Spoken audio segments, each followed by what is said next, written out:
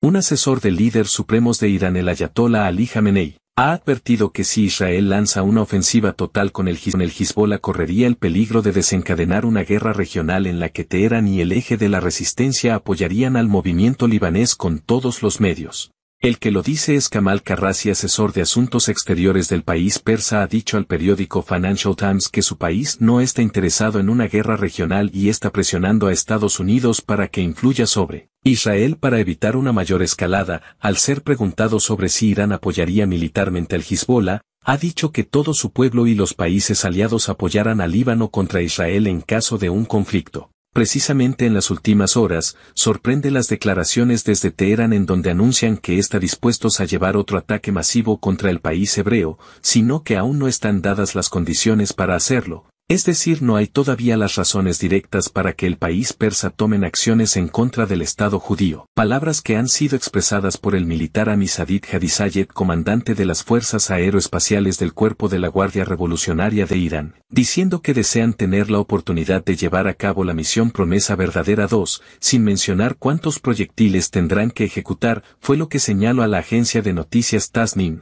Promesa verdadera es el nombre de la operación que está próximo a ejecutarse y así fue puesto por el líder supremo el Ayatollah Ali Khamenei tras la Primera respuesta de Irán al ataque contra el consulado de Irán en Siria mediante drones y proyectiles. Dicen desde el país persa que aunque tienen toda la fuerza, están maniatados para ejecutar una respuesta porque las condiciones no están dadas para hacerlo. De otro lado es noticia en las últimas horas que Irán podría reconsiderar su doctrina nuclear en caso de una amenaza existencial afirmaba Karrazi en una entrevista con el diario occidental Financial Times citando que están a favor de ir construyendo armas nucleares citando declaraciones del mismo líder supremo emitidas en el 2003 que prohibía el desarrollo de las mismas, sin embargo dijo que si Irán se enfrenta a una amenaza existencial como país naturalmente se tendría que mirar la posibilidad de cambiar la doctrina nuclear. Fue lo que dijo el funcionario en una entrevista con Al Jazeera el pasado mes de mayo hablando sobre el acuerdo nuclear y las consecuencias de que Estados Unidos lo abandonara en el 2018. Carrassi dijo que si Occidente hubiera activado las disposiciones de reinicio rápido para reponer las sanciones de la